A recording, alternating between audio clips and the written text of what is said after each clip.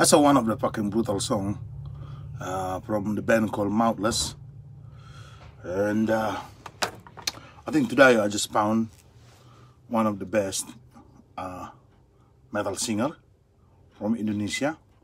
This guy used to be in the band called Siksa Kubur. That's the first time I hear him mention that again. Now this one, this song, I just play again today.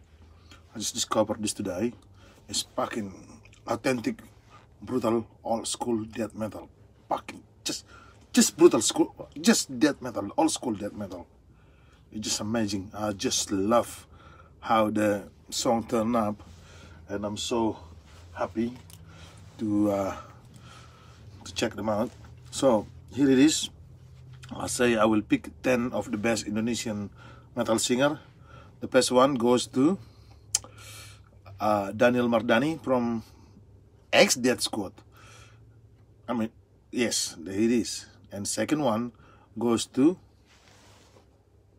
the man from Mouthless, Septan Maulana, if I wasn't wrong. You guys rock.